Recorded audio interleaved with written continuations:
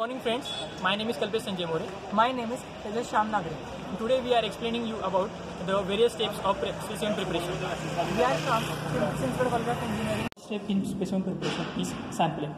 Uh, selection of specimen is very important steps for the preparation of the specimen. The specimen sample should be properly selected because it's characterized of a material. Also, it should fulfill the purpose of the examination. For our, uh, we select three uh, three samples. First is aluminum sample. Uh, second is mild steel sample, and third is uh, brass sample. All specimen initially are very long in size. For cutting these such materials, we use abrasive wheel, cut-off wheel uh, is used. Uh, it is a thin disc impregnated with the suitable hard abrasive like emery and diamond dust. Uh, generally, the length of this specimen is 1.5 to 2.5 centimeter, and the shape of this uh, specimen is round or square selection as your as your own requirement. The three specimen, we have selected aluminum specimen. The next step in specimen preparation after sampling is polishing. First is rough polishing, also known by dry and wet method of polishing. In this method, top and bottom surfaces of the specimen are made flat and parallel by using machining and filing methods. The surface under examination is made plain using a motor driver emery bed. During this process, the specimen get heated, hence should be frequently dipped into the cold water. Excessive pressure should not be applied on the grinder and also during hand grinding operation because it leads to formation of deep seeds, scratches which are difficult to remove. If the specimen is heated, it leads to some microstructure changes due to temperature involvement for metal having low temperature and melting point. We will proceed further for grinding.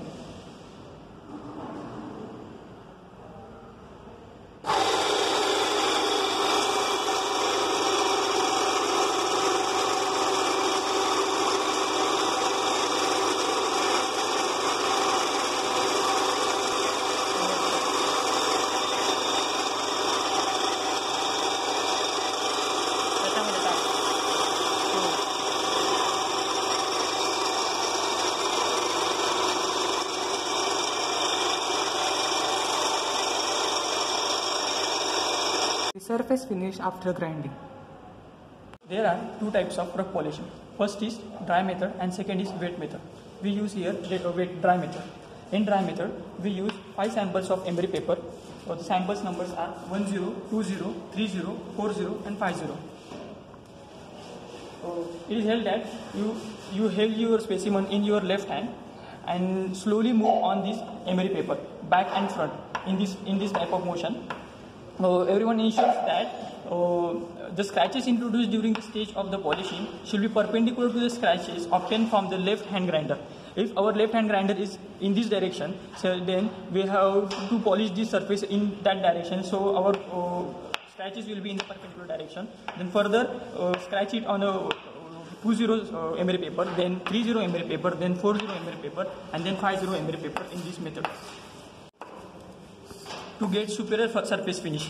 Here, the surface finish is obtained from obtained from uh, emery paper. Uh, next method is the fine polishing. It is the final step of the polishing process. In this method, the scratches introduced by 0000 paper or 600 number of a paper is completely removed and the specimen surface becomes a surface free. The finally obtained surface is called as the mirror surface finish and the corresponding polishing method is a lapping. This, this machine uh, is lapping machine. In the lapping method, uh, the rotating disc, this is the rotating disc, is covered with the special cloth is used. Uh, abrasive particles suspended in the water and added on this cloth. Uh, abrasive. Abrasive particles are suspended in the water and added to this cloth. Uh, this is the abrasive particles. Uh, here, abrasive particle we use is brasso for non-ferrous alloy. Uh, this is uh, this is our this is specimen our uh, aluminum and it is a type of a non-ferrous.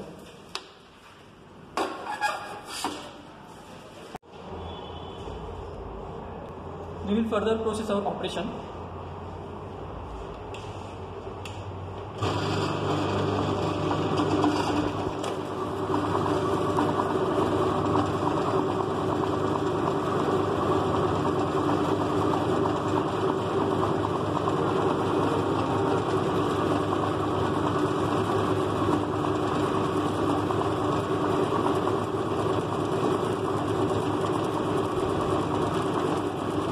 Is controlled corrosion of grain boundaries to have the clear view in the optical microscope of the microstructure.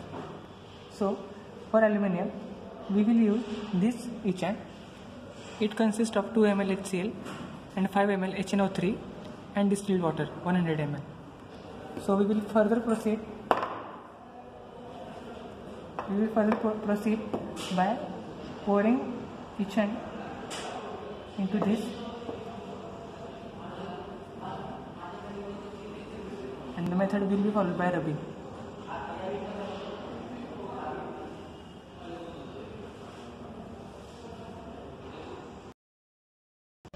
The each specimen look like this.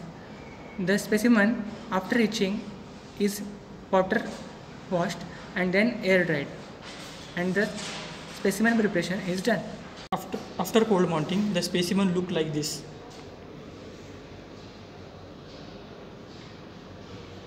Aluminum specimen we are not going to do cold mounting